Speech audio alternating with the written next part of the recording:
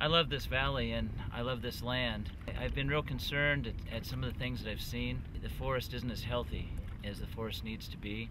We've had years and years of drought, um, bark beetle infestation, a fire that actually threatened the entire valley. We were in our sixth year of drought in 2004. We've had droughts in Big Bear. I mean, it's part of our ecosystem, but uh, the trees didn't die like this year. And I think a lot of our aquifers kind of dried up, at least that's my assumption. Our, our lake was, Yeah, what, they're filled. 15, 18 Yeah. feet down? Even after a, a decent snow, it still stayed down. Our community was looking for ways to solve the drought problem. I would like to see these agencies think outside the box.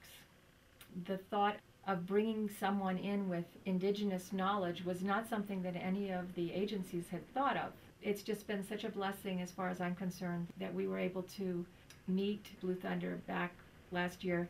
Blue Thunder set up this amazing medicine wheel ceremony. Think of all the things that this mountain needs. You've lived here for so long, you know the healing that it needs. All of the bad things that's happened here needs to be erased. And so the message is the Great Spirit.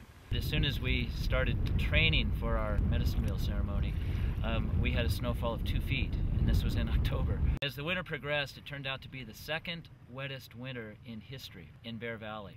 And this all happened after uh, all the predictions were that we were in the, the most severe drought with no end in sight.